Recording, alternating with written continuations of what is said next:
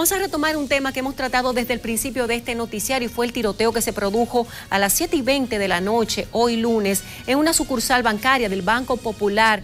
Eh, situada en Plaza Lama. El Banco Popular ha emitido un comunicado oficial y dice que informa del asalto con violencia perpetrado en el centro de negocios personales localizado en las instalaciones del centro comercial Plaza Lama de la avenida 27 de febrero pasadas las 7.30 de la noche de este 26 de diciembre, en el cual resultaron heridos dos agentes de seguridad de la compañía de transporte de valores La Confianza.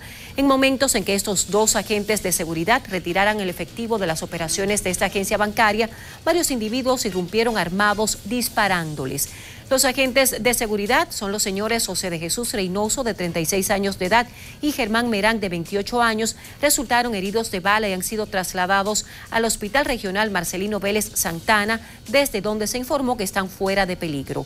La institución financiera sigue de cerca la evolución de salud de los agentes de seguridad de la confianza. En el momento del asalto se encontraban laborando tres empleados en este centro, quienes resultaron ilesos. Los asaltantes que se dieron a la fuga tras cometer el acto delictivo sustrajeron una valija con aproximadamente 3,7 millones de pesos y 25 mil dólares. La policía tiene a su cargo la investigación de este hecho y gran revuelo causó el tiroteo cuando fue asaltado este camión de valores en Plaza Lama de la Winston Churchill con 27 de febrero.